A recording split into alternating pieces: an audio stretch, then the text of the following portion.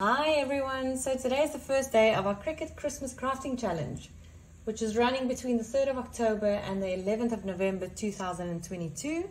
And we will be posting a brand new craft every single day, Monday to Friday between these dates. And if you want to be eligible for the draw of the Cricut Joy crafting machine, be sure to have a look at the details in our description below and also go and subscribe in order not to miss any of it. For the first day of our challenge, we'll, we'll start with making these beautiful Christmas gift tags from scratch, just using images and text from Design Space and other free sources. For today's craft, we're going to use our Cricut cutting machine. I'm using the Maker 3, a standard grip cutting mat, some 65 pound cardstock, I'm just using solid core and then some twine and a pair of scissors. So when we open Cricut Design Space, you're going to go to click on New Project on the side here. And then during the course of this challenge, we're going to mainly use free fonts and images where possible. So in order for us to make these Christmas gift tags, we're going to use the Shapes button on the side. Um, for the purpose of this exercise, I'm going to use the circle, but you can use the star, rectangle, whatever you would prefer. So I'm going to click on my circle and then you'll see the lock is locked on the, at the top here. So I'm just going to make the size of mine 3.2 and because it's locked, it's going to change the height at the same time. So there we go. I prefer to change the color of my canvas so click on the blank canvas at the bottom and then the color square at the top I like to make mine green. Then I'm going to click on my circle and change that color to white. So the next thing I want to do is just add a little hole at the top of my gift tag in order for us to put a, a little string through it. So I'm going to click on the shapes again click on circle and just drag it to the size and change the size to about 0.15 and then I'm going to just put it somewhere around the middle of that. So the next thing I want to do is just center it on top of our circle. So I'm going to click on it on the side, click and hold down control and click the circle and then if you go to the align button at the top and you say center horizontally, it will move it to the middle of your actual circle.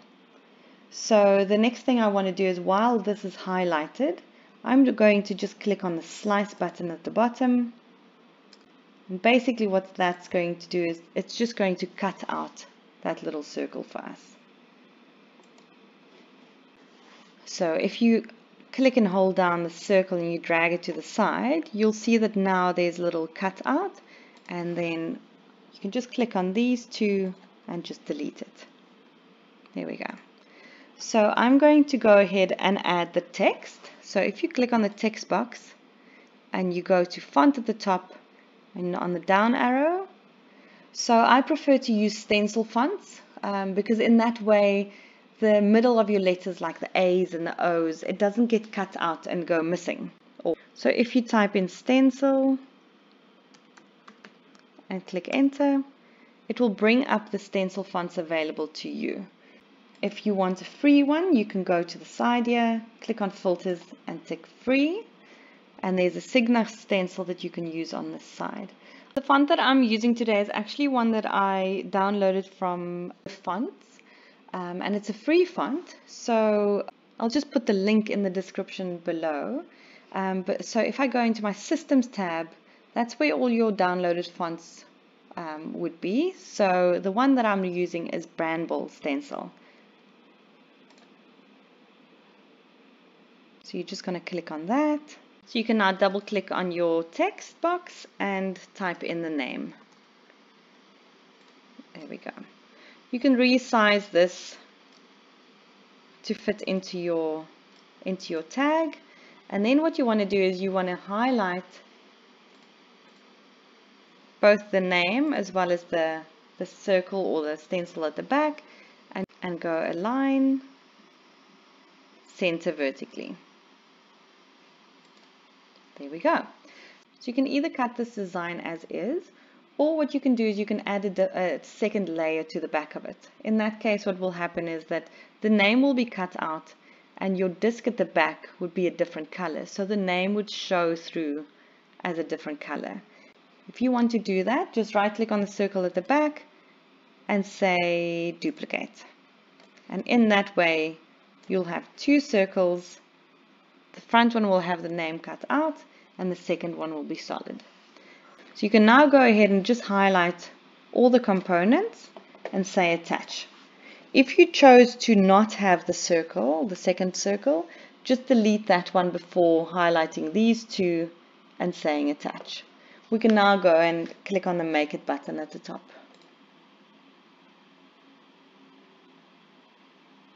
So I'm going to use my mat, using a 12 by 12 inch mat. I can say confirm.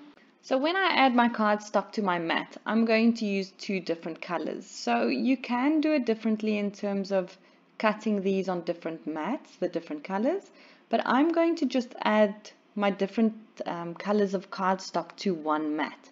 So for the first disc, I'm going to use red, and the one at the back, the solid one, I'm going to use white. So what I'm going to do is I'm going to add a piece about three and a half by three and a half inches um, of each and I'm going to just make sure that it fits the dimensions of these cuts on my mat. I'll show you in a second what I mean.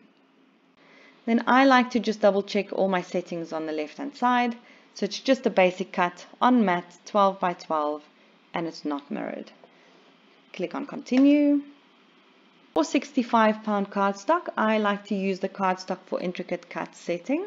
So if you don't have it highlighted, or saved as a favorite, just click on Browse All Materials. In all categories, you'll go to Cardstock, and then you'll choose Cardstock for Intricate Cuts. Click on Done, and then I usually just change my pressure to less because I find that my fine point blade cuts a little bit too deeply into my mat when I'm using 65 pound cardstock. So I just change that and then it tells me that I'm using a fine point blade and it's all ready for me to add my, my cardstock to my mat and load my mat into my machine. So I've cut two squares over here, different colors, three and a half by three and a half inches. So the red one I'm going to put in the corner and the white one next to it. So the white one is going to be my, my solid color at the back with the red one being the front where the name is cut out. We can now go ahead and load our mat into our machine.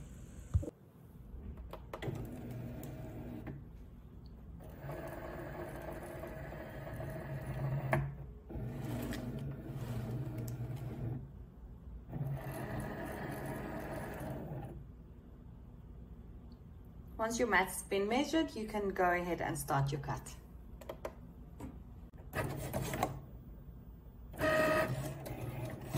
Now that we have our cut designs, you can actually, like I said earlier, you can either leave it like this, or you can add the second color as a background. In this case, it's white, so you can't really see the difference against the, the table. But if you had it a different color, it might make a, a bigger difference. So what we're going to do is we're going to just add some string and then wrap it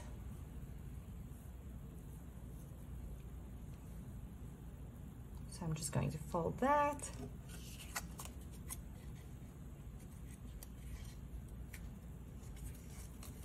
Push it through.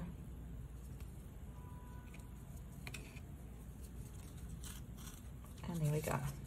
So we can now go ahead and add this to our gift.